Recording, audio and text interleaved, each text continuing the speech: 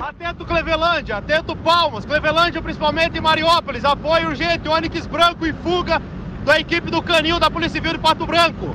O Onix está em fuga desde Vitorino. A perseguição policial mostra o momento em que o núcleo de operações com cães da Polícia Civil, DENARC e 5 SDP, no âmbito da Operação Oro Sudoeste, apreendeu 121 quilos de maconha em Mariópolis.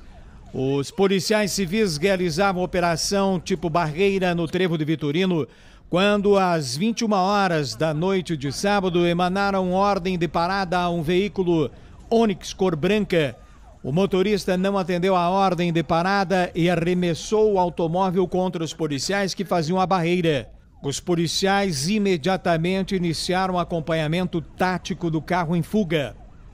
As viaturas realizaram acompanhamento por cerca de 20 quilômetros e na rodovia entre Pato Branco e Mariópolis, a cerca de 7 quilômetros do posto da Polícia Rodoviária Estadual, acabou optando por abordar o veículo à força.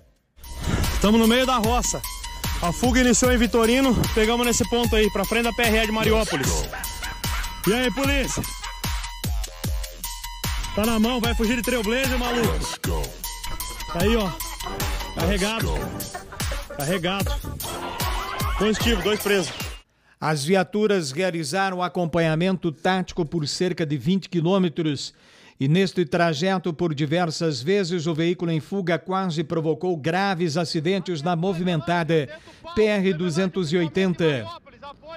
A cerca de 8 quilômetros após o posto da Polícia Rodoviária Estadual, em uma reta na rodovia PR-280, os policiais decidiram pela interceptação à força do veículo, em razão de que não havia outros automóveis em trânsito naquele momento, não colocando em risco a vida de usuários da rodovia.